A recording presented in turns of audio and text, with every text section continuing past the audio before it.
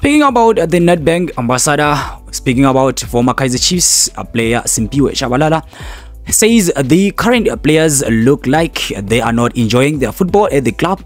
The former Bafana Bafana winger warned players not to get too complacent and at the club and they should give their all in every match.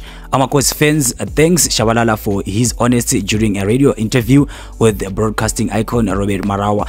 So this is very true what he's saying so because uh, sometimes i found out that there are some players who are being signed playing very good at their certain club. It seems like when they go to kaizer chiefs is a comfort zone they are no longer performing the same. I don't know what is really happening maybe the dream came true from a team which you're coming from and go to the team which is very famous and popular. Talking about Kaizer Chiefs and you become so comfortable with the club.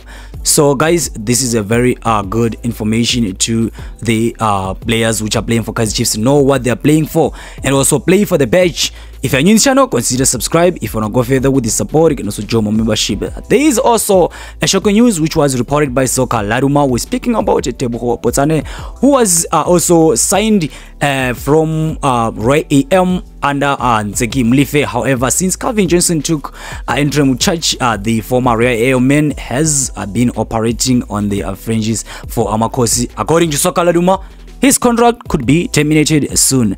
The 30-year-old joined in only a three-year deal, but it's unlikely he will see it out after only seven appearances all the season in the league this uh, term.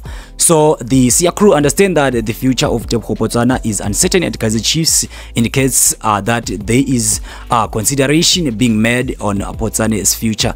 This could either come to an agreement for separation or be placed on a transfer list. This would then allow Kaizer Chiefs to listen to offers for purchase. So with my understanding, Potsane might uh, Potsane might be sold or Potsane might be also uh, contract might be terminated so it will depends what uh, the club uh, comes out with. So with your understanding guys as i always ask you at the end of the video do you think it would be very wise for kaizer chiefs to terminate the contract or sell Potsane i'll see you in my next lovely video. Peace